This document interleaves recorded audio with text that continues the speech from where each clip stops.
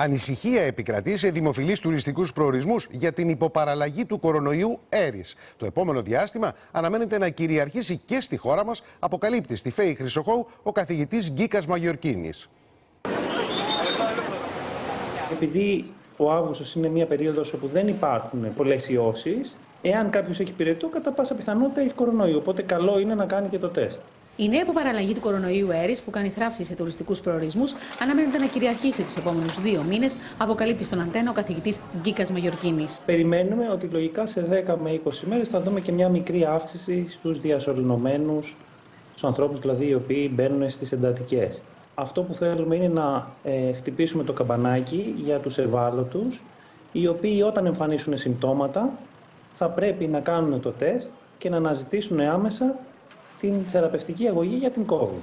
Τα συμπτώματα που προκαλεί η αίρις είναι καταρροή, πονοκέφαλος, κόπωση, φτέρνισμα, πονόλεμος, πυρετός με διάρκεια μία έως δύο ημέρες. Η ανάγκη πρόληψης θα οδηγήσει, όπως επισημαίνουν οι επιστήμονες, σε επικαιροποιημένο εμβόλιο. Από Σεπτέμβριο-Οκτώβρη λογικά περιμένουμε μία επικαιροποιημένη δόση εμβολίου, η οποία θα λαμβάνει υπόψη τις, τις πιο πρόσφατες παραλλαγές που κυκλοφορούν στον κόσμο και θα αφορά κυρίως τους ευάλωτους και τους ε, ηλικιωμένους, δηλαδή τους 60, άνω των 65.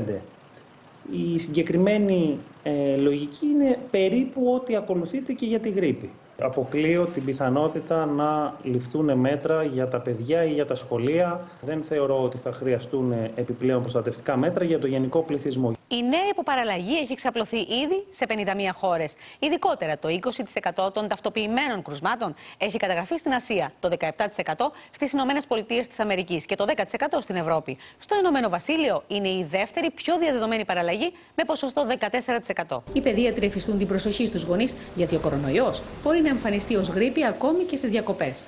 Όποιο παιδάκι, ειδικά όταν είναι πολύ μικρό και βρέφος, εμφανίζεις πολύ ψηλό πυρετό, εξάντληση και συμπτώματα από το αναπνευστικό, θα πρέπει να ελέγχεται για την ύπαρξη της νόσου και να επικοινωνεί άμεσα με τον παιδίατρό του για περαιτέρω υγεία. Με τη διάγνωση της νόσου, οι γιατροί προτρέπουν τους γονείς να κρατήσουν τα παιδιά μακριά από τους ηλικιωμένους αλλά και από τα πολύ μικρά βρέφη.